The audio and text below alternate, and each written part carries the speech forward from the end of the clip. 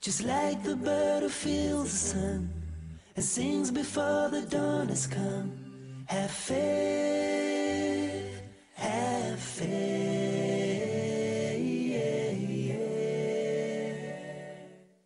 Slowly, slow, my child, the world waits for you, and your window of time will come shining through. Slowly, slow, don't rush, you know, it'll all come easy.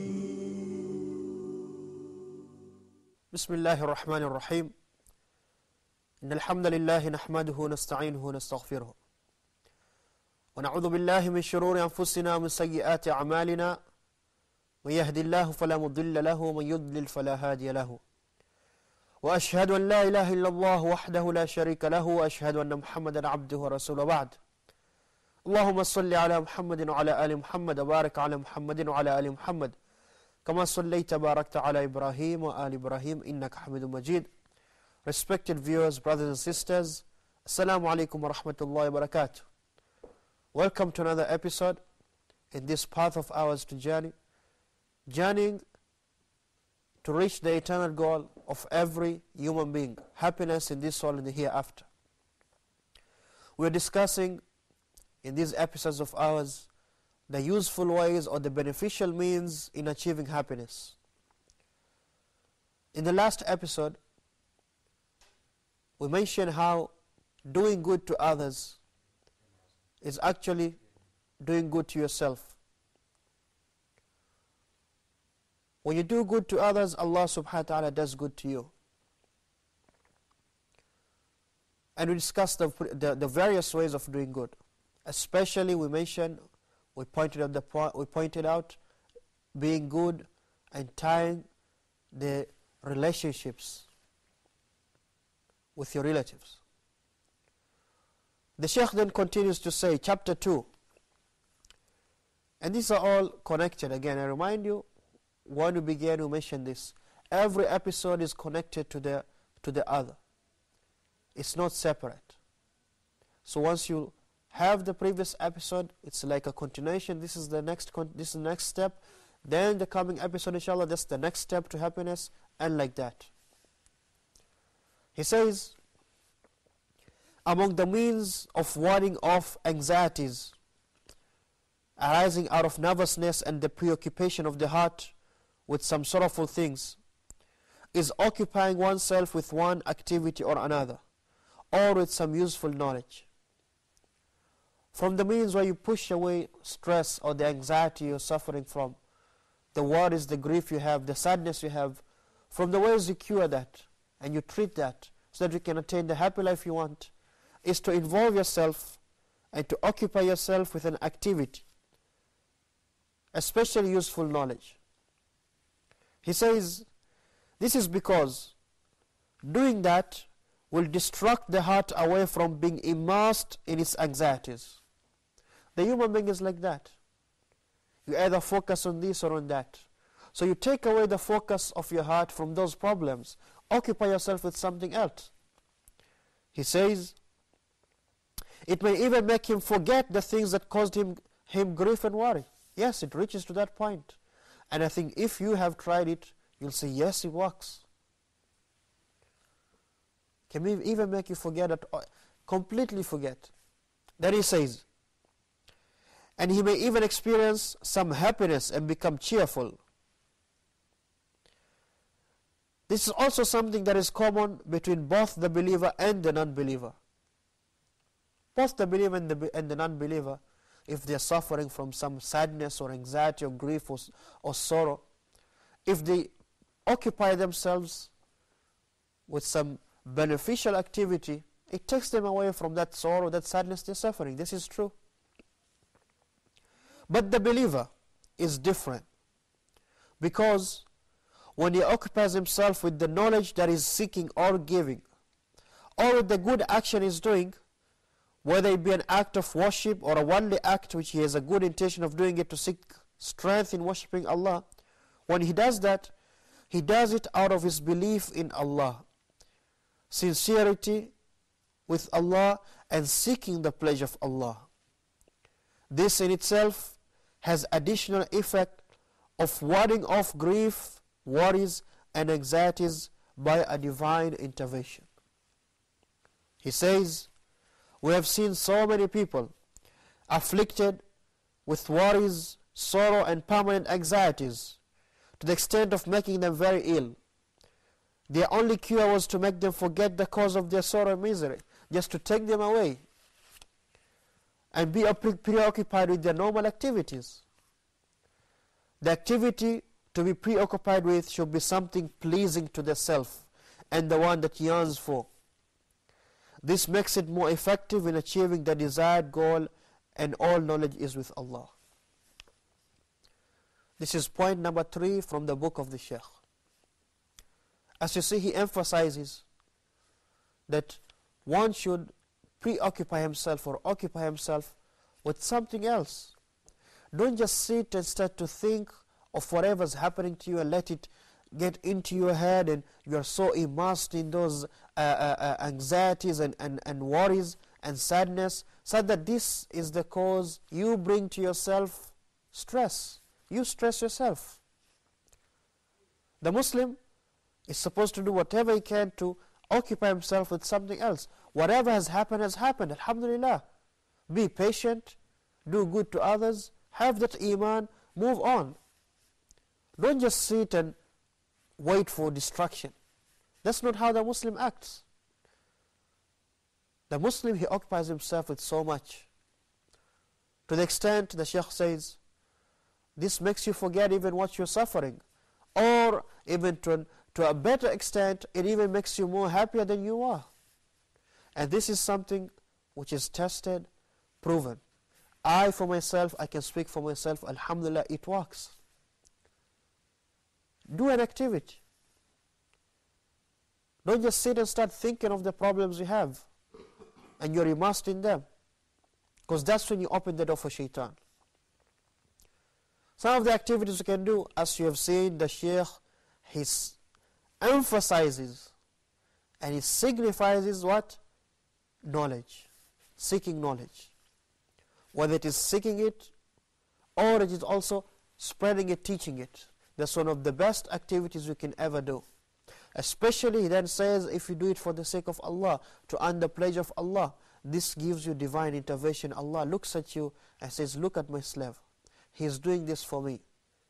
He wants to take off the stress he wants. So Allah subhanahu wa ta'ala helps you. Some of the activities you can do, just to mention a few, involve yourself in sporting activities. Go play football. Go play basketball. As long as it's in a proper setting, there's nothing haram being done. Islam does not say no. Go have some fun. Another activity you can do, do some charity work. And this is a point related to the last point in the last episode you mentioned, doing good to others. Involve yourself in a charity organization whether it is practically on the field helping others or in in uh, uh, managerial uh, uh, activities where you have to do some paperwork or whatever. Involve yourself in positive activities. Clean up of the city. Or a marathon let's a walk to help uh, cancer victims. Involve yourself in these actions. And this takes away your grief. Takes away your sorrow the Shaykh pointed out again, I'm saying on knowledge, because there's a secret behind this. It's a huge, huge secret behind this. Very, very important. Why did he say involve yourself in knowledge? I myself I can answer saying, if you had knowledge, it is very, very rare for you to be in the situation like this person the Sheikh is talking about, where he just sits at home and he just clenches his beard or his head and he's just uh, staring at the at the floor, or the wall, thinking, "Oh, my life is done. I'm lost. I'm distracted." Nah. If you have knowledge, you'll never do that, because you know that Allah Subhanahu wa Taala is there. If you have knowledge, simply putting it, if you have knowledge, you'll understand all these episodes we have gone through and all that is to come. And even if you're to watch this uh, series of hours, will just be a reminder to you. Knowledge is the key to success. Knowledge is the key to power. Knowledge is the key to eternal happiness. Just to give you a simple hadith, the Prophet ﷺ, he says, and this, again, it's a connection between this episode of ours and the previous episode, which he talked about the positive effect of doing good to others. He says, sallallahu alaihi wasallam, من نفس عن مؤمن كربة من كرب الدنيا نفس الله عنه كربة من كرب يوم الآخرة يوم القيامة The one who relieves a believer of his hardship Allah subhanahu wa ta'ala will relieve his hardships on the day of Qiyamah. You do good to others. Somebody is undergoing trouble, you, you help him, you save him. Allah will save you, Allah will help you. ومن ستر مسلما ستره الله في الدنيا والآخرة and the one who covers a Muslim he's no you know he's a, he's a well-known Muslim he's a good Muslim but he just fell into a mistake then cover him don't start talking about him Allah subhanahu wa ta'ala will cover your mistakes in this dunya and the akhirah A happy life here and in the akhirah ومن يسر على معسر يسر الله عليه في الدنيا والآخرة and the one who relieves and gives ease to the person who has a debt the person whose loan is so much money to pay for Allah will, will ease your life in this dunya in the akhirah you'll have a happy life you're helping others والله في عون العبد ما كان العبد في عون أخيه Allah will continue and not cease to help you to take care of your affairs as long as you help others ومن سلك طريقا يلتمس فيه علما سهل الله له به طريقا إلى الجنة and the one who traverses the path he wants to seek knowledge Allah will make ease for him the path to Jannah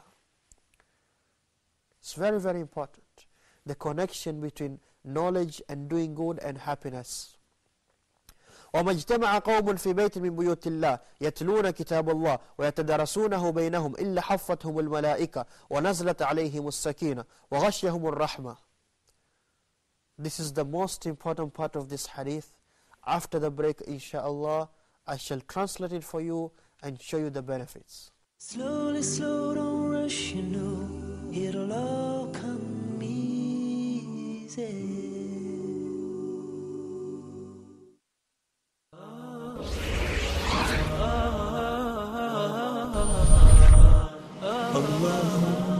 The words of Allah, the Quran, sent to us by the Almighty, so we can hear and obey. We cannot live our life without the Holy Quran. You must listen carefully to the words of Allah subhanahu wa ta'ala because your safety and my safety will be with this great verses verses of the Holy Quran. We are here in this world for a test and this test and you will have questions in the day of judgment. Hear and obey with Sheikh Rifat Muhammad in Ramadan only on Huda TV. أهله علينا باليمن والإيمان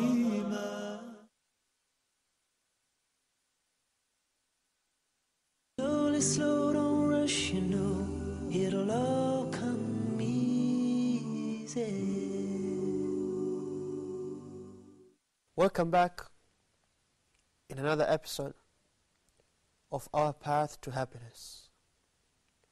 We were speaking before the break on this great hadith, and the point of this episode is that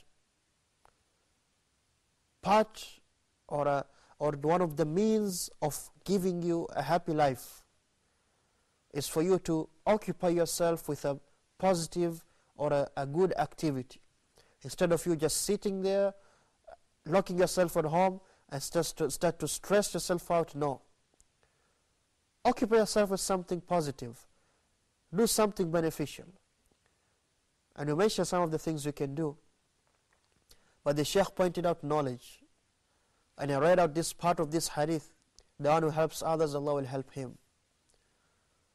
Then Allah, then the Prophet ﷺ, he says, وما اجتمع قوم في بيت من بيوت الله يتدرسونه يتلون كتاب الله يتدرسونه بينهم Any people who gather together in a masjid reading the book of Allah and studying it between them when you sit in a lecture or a halaka in the masjid what happens حفتهم الملائكة the angels they come down and they surround you ونزلت عليهم السكينة and tranquility it comes down Allah gives you tranquility وغشيتهم الرحمة and mercy engulfs them وذكرهم الله في من عنده and Allah mentions these people to the close angels who are close to Allah subhanallah all of these benefits cause of knowledge yes cause of knowledge seeking knowledge that's why the Prophet ﷺ, he says my dear brother and sister من يرد الله به خيرا يفقهه في الدين the one whom Allah wants good for him then he makes him knowledgeable in the religion knowledgeable in the religion that he starts to know his deen very well it's a very good sign it's a positive sign that you are upon good and that you are upon the path of attaining happiness why do you think the prophet ﷺ he says to all of us طلب العلم فريضة على كل مسلم seeking knowledge is a must on every Muslim. It's an obligation. Because that's the path you'll attain happiness. From the points we mentioned before in the previous episodes, is having correct belief, doing righteous actions, knowing how to deal with the tests. All of that, it is born out of wisdom, out of knowledge, ilm. Without ilm, you, can be no, you, can, you can't do that. You can't know how to worship Allah. You don't know the sweetness of Iman. You don't know how to deal with trials. Seeking knowledge is a must for everybody. And it's, uh, it's, it's a fact, I, I myself, I, I attest to that. When you start seeking knowledge, Allah, you forget about all your problems. All your problems, forget them. Another point where seeking knowledge is beneficial and is rightly connected to this issue of ours, this matter of ours which we are seeking, the happiness in life. One day one of the Sahaba, he came to the Prophet ﷺ and he says, Ya Rasulullah, this brother of mine, his brother was with the Prophet ﷺ. He just seeks knowledge. And I do all the work. I'm the one who earns the bread for the, for the, for the, for the family.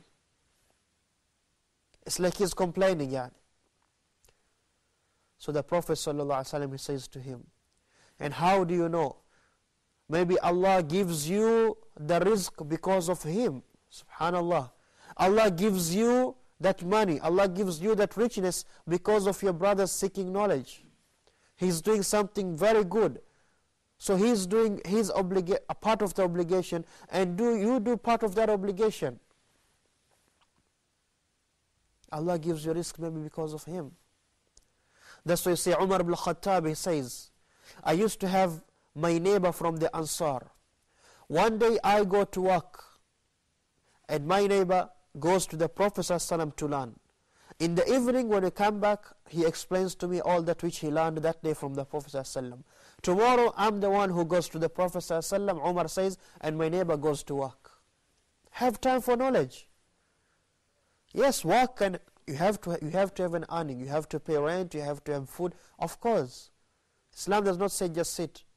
But create time for learning. Create time for seeking knowledge. If you're in a, in a place where there's no halakas in the masjid or no Islamic uh, uh, uh, centers or universities, then this is one of the best way right here.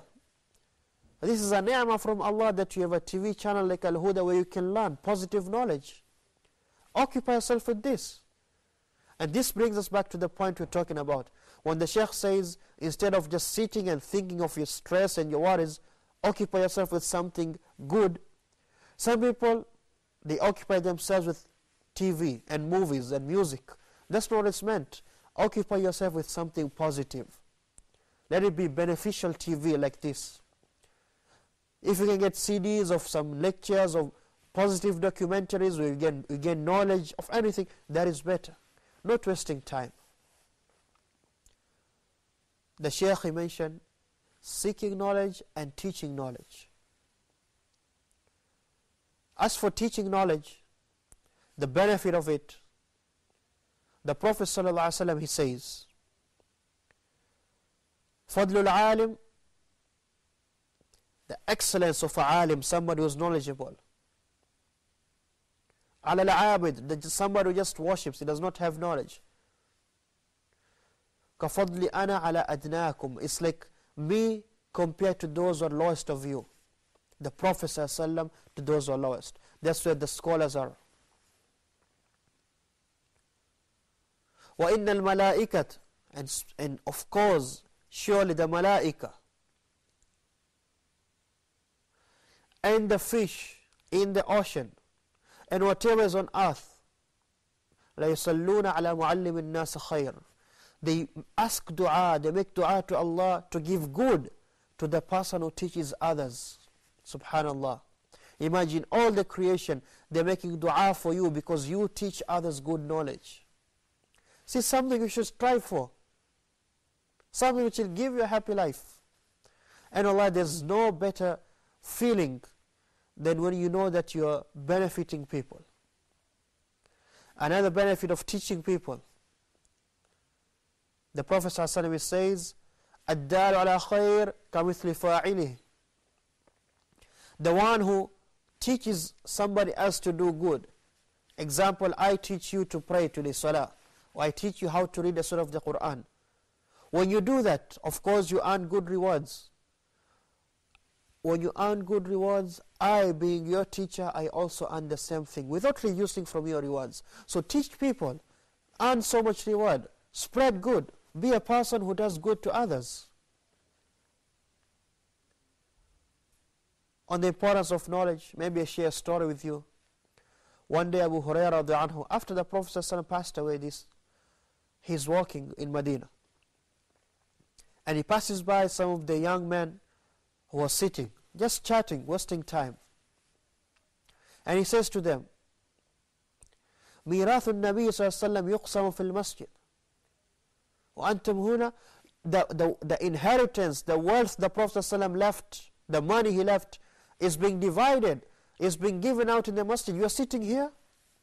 So what happens? They all run to the masjid, hoping to have that wealth. When they go there, they see nothing. And Abu Huraira is waiting for them. So they come back. And he said, Yeah, Abu Huraira, we went there and we didn't see anything. There's no wealth being divided. There's no wealth being given out. So he says to them, What did you see? They say, قوم يقرؤون القرآن وقوم يذكرون الحلال الحرام he says we saw people sitting reading Quran, people sitting teaching each other the halal and the haram, and the people seeking yatlibun al seeking knowledge. So Abu Hurairah he says to them, that is the inheritance of the Prophet sallallahu alaihi wasallam. Because the prophets, lam yurith dinar or dirham, they don't leave behind dinars or dirhams or dollars or, or guineas or pounds or whatever but they leave behind knowledge so those people are taking the inheritance of the prophet wasallam that's the importance of knowledge another thing which shows you how important knowledge is that it's something which gains you that feeling of knowing that you know what you do. When you're knowledgeable, you know what you do. You're doing something upon knowledge. It's not like something is strange to you. Secondly, again on this point, it brings you close to Allah. Allah subhanahu wa ta'ala he says, my dear brothers and sisters, هل يستوي الذين يعلمون الذين لا يعلمون? Can they be equal, those who know, those who have knowledge, and those who don't have knowledge? They can never be equal. Never. Remember the first two points we mentioned in the first two episodes? The best way and the, the, the foundational way of achieving happiness is iman and righteous actions. You have to have the fear of Allah and worship Him properly. Then listen to this. Allah says, إِنَّمَا يَخْشَى اللَّهُ مِنْ عِبَادِهِ الْعُلَمَاء Those who really have the fear of Allah, those who have the proper way of fearing and worshipping Allah, are those who have knowledge, the scholars. Be a scholar. Strive for knowledge. This is your path to happiness. Again, occupy yourself with something positive and Allah subhanahu wa ta'ala will take away that stress you have and give you happiness. Inshallah, till next time, Assalamu alaikum wa rahmatullah. Just like the bird who feels the sun and sings before the dawn has come. Have faith, have faith.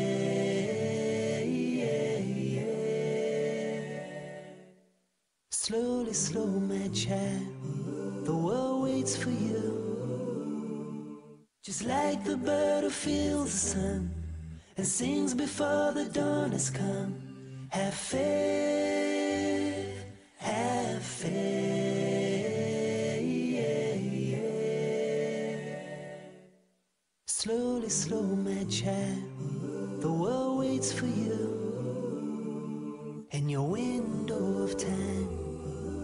come shining through. Slowly, slow,